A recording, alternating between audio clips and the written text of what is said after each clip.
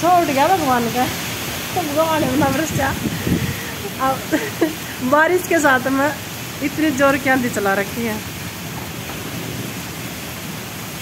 छात छूत सब कुछ दूँगा। बढ़िया दूँगी होगी कति मिट्टी का पानी आने लग रहा है देखिए।